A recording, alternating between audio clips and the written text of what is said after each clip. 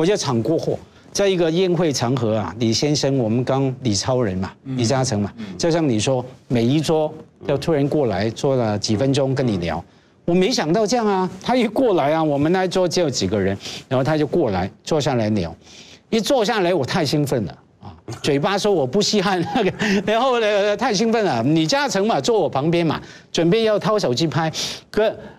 可是，一兴奋呢，他来握手的时候，我就跟他讲：“哎，李先生，我是你偶像，很丢脸啊啊！我是你粉丝啊，还是给他倒茶吧。”这好丢脸，我到今年都觉得 我是你偶像。然后李嘉诚怎么样？他就笑啊，你知道，吗？你上我，系你偶像啊，没没没，你系我偶像，你我说你是我偶像，好丢脸，你知道吗？从此我就觉得，哎，给你面子，又倒茶干 啥？所以你这时候需要喝点茶，你你得喝点茶。